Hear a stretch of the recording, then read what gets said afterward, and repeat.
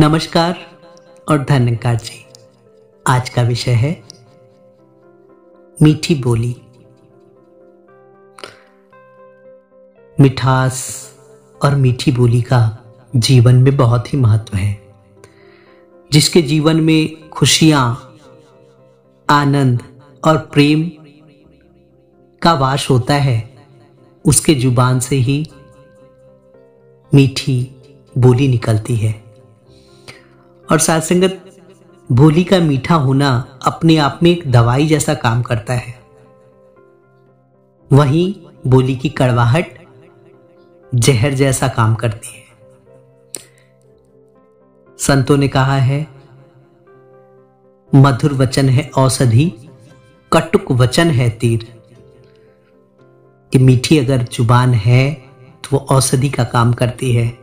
और अगर कड़वे बोल कहीं से बोले जाते हैं तो तीर जैसे चुभ जाते हैं।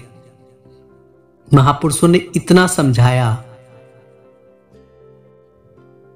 कि अगर तीर चुभने वाले ज़ुबान है तो उससे अच्छा है कि चुप रहा जाए। हम अगर चुप रहते हैं तो बहुत सारी समस्याओं का समाधान भी हो जाता है।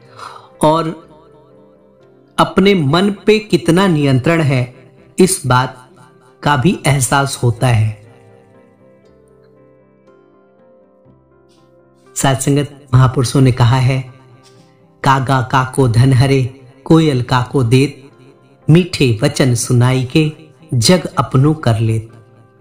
कौवा किसी की संपत्ति नहीं लेता और कोयल किसी को संपत्ति दे नहीं देती। अंतर सिर्फ़ इतना है कि मीठे वचन से कोयल सबको अपनी ओर खींच लेती है। और कौवा कर्कश ज़ुबान के कारण किसी को प्यारा नहीं लगता। इसीलिए जीवन में जिसके बोल मीठे होते हैं, जिसके बोल में हित भरे वचन होते हैं, सभी उनकी खोज करते हैं। जिस फूल में खुशबू होती है, वहाँ पे भौरे स्वतः ही चले जाते हैं।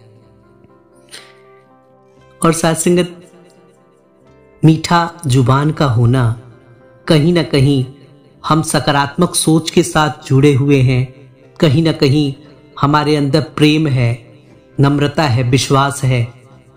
इस बात को भी इंगित करता है। हमारे ज़ुबान में मिठास तो तभी आ सकती है जब हमारे हृदय में प्रेम होगा।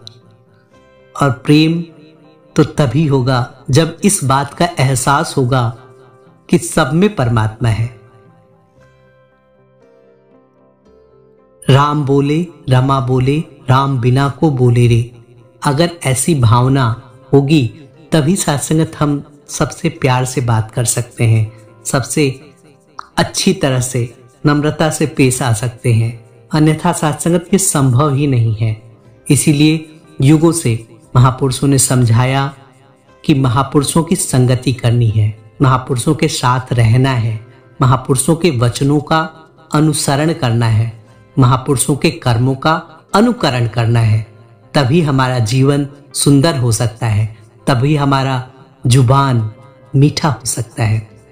और जब ज़ुबान मीठा होता है तो सात्संगत सब कोई हमें प्यार देते हैं। अन्यथा सात्संगत कोई नहीं पूछता। सात्संगत यहाँ तक समझाया गया जिहवा ऐसी बावरी कह गई आल पताल। बोल बाल भीतर गई पिटता रहा कपाल, कि जीव से कुछ भी बोल दिया, ज़ुबान से कुछ भी बोल दिया तो जीव तो अंदर चली जाती है मुँह के, लेकिन सर पे जूते पड़ते हैं। आओ सत्संगत हम सभी इस बात से चेतन रहें कि हमें सोच समझ के कुछ बात बोलना है, सोच समझ के ऐसे वचन का आधार लेना है जिससे हम भी खुशहाल रहें और किसी के लिए खुशहाली का सबक बने। खुशहाली के कारण बने। इन शब्दों से ही दास आपसे इजाज़त चाहेगा। प्यार से बोलिए, धन्यकार जी।